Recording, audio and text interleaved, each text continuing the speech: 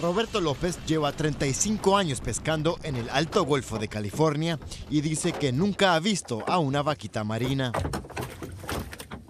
Un pequeño mamífero acuático en peligro de extinción que solo se encuentra aquí, en el Mar de Cortés. Nunca me ha tocado agarrar una y nunca he visto yo una, pero igual sí sé que existen, porque he visto en fotos, en que videos. Desde hace siete años, el gobierno mexicano ha reforzado las medidas para proteger a la vaquita, de la que estima solo quedan 10 ejemplares.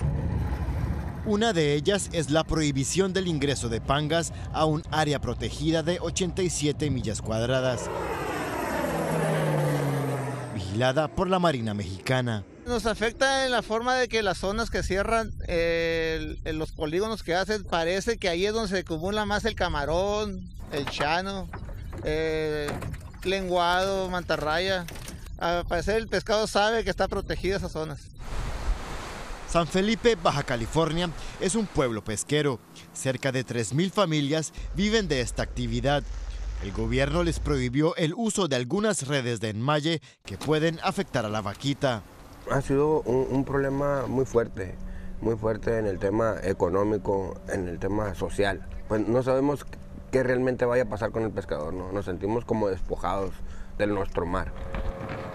Una de las redes prohibidas es la utilizada para atrapar a la totoaba, una especie cuya vejiga natatoria es muy apetecida en el mercado asiático por sus supuestas propiedades medicinales.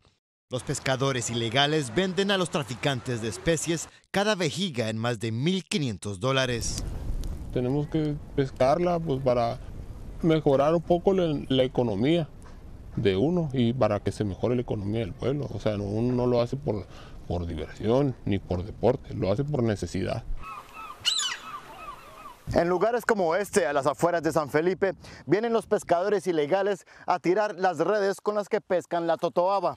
Después de quitarles el buche, tiran el resto del pescado porque por una sola escama pueden ser arrestados. La pesca de la totoaba y la extinción de la vaquita marina son temas que han dañado la reputación de San Felipe. Sin embargo, algunos empresarios locales piensan que el gobierno mexicano no ha sabido manejar la situación. Actualmente, pues eh, a nivel internacional, todo el mundo sataniza al pescador, pero no se ponen a, entender la situación de que el pescador tiene que darles de comida a, a sus hijos. El gobierno de México acepta que no ha sido fácil llegar a un equilibrio entre la protección de la vaquita marina y encontrar una pesca sustentable. No es un problema sencillo. Eh, todas las instituciones que tienen cierta injerencia dentro de las decisiones y las acciones que se deben tomar están trabajando. Por su parte, las organizaciones ambientales se han dado cuenta de que los pescadores deben ser parte de la solución y no del problema. Ellos no entendían que nosotros andábamos haciendo una labor de protección, ellos pues nos veían como enemigos, ¿no?